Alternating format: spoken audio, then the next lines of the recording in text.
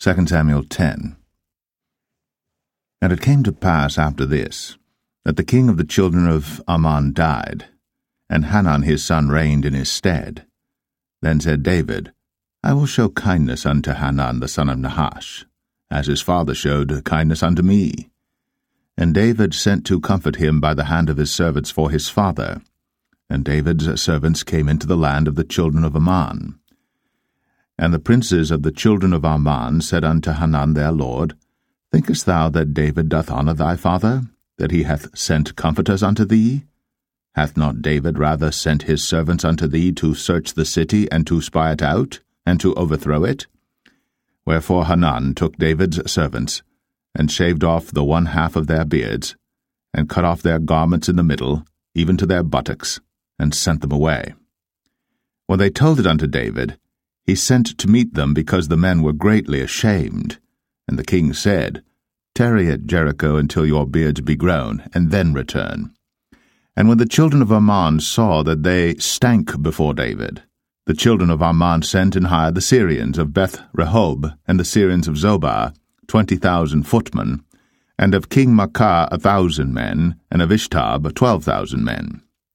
And when David heard of it, he sent Joab and all the host of the mighty men, and the children of Ammon came out and put the battle in array at the entering in of the gate. And the Syrians of Zobah, and of Rehob, and Ishtob, and Maachah were by themselves in the field. When Joab saw that the front of the battle was against him before and behind, he chose of all the choice men of Israel, and put them in array against the Syrians. And the rest of the people he delivered into the hand of Abishai his brother, that he might put them in array against the children of Ammon. And he said, if the Syrians be too strong for me, then thou shalt help me. But if the children of Ammon be too strong for thee, then I will come and help thee. Be of good courage. Let us play the men for our people, and for the cities of our God. And the Lord do that which seemeth him good. And Joab drew nigh, and the people that were with him, unto the battle against the Syrians. And they fled before him.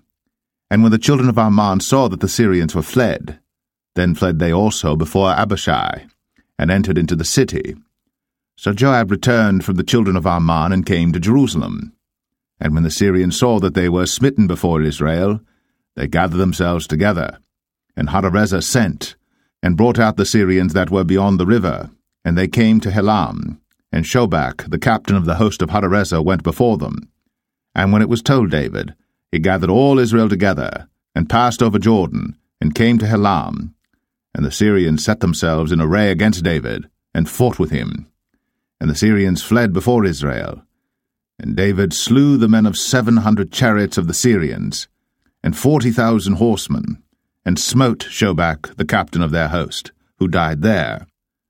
And when all the kings that were servants to Hadarezer saw that they were smitten before Israel, they made peace with Israel, and served them.